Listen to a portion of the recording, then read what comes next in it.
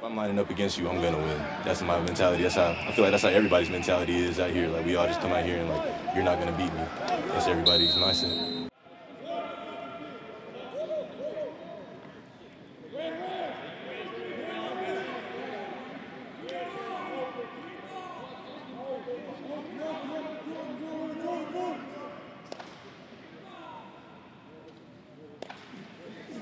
Very important. Coach Torbush told us that this would be one of the most important scrimmages that we had, and that we need to really come out here and, and get going early, and get going early and often. I think we scored on the first three out of the four drives on our defense, and um, yeah, just it was a big importance on making big plays today.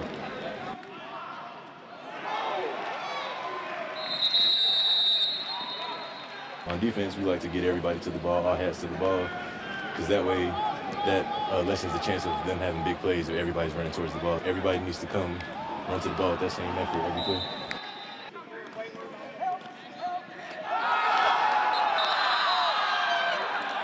Uh, against the run, we were just we just got a lot of good plays. Coach Taylor was just calling a lot of good plays that like freed us up on some blocks. Um, like it was just it was just good play calling. We were just getting where we needed to be and once again, Coach Day has just been teaching us the technique. Coach Taylor's been teaching us the technique for like three years now, so like it's just starting to become like second nature to us now.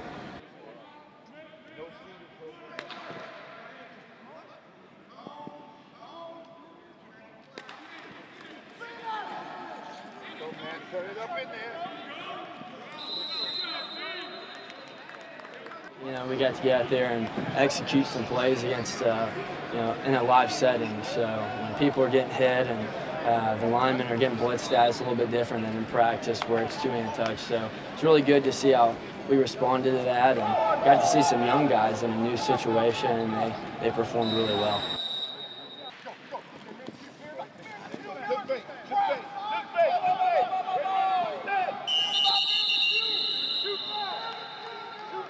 I remember being in here three years ago. It ain't the same. It is not the same. We got a lot of good athletes. We've got a lot of big athletes. We've got a lot of strong athletes. And I think we got something, make something special. I would advise you, get on the internet and about limestone. You don't play anybody to limestone. You only get one time in your life, in our life, to open up a brand new stadium. That will be a tremendously special day make it a special day.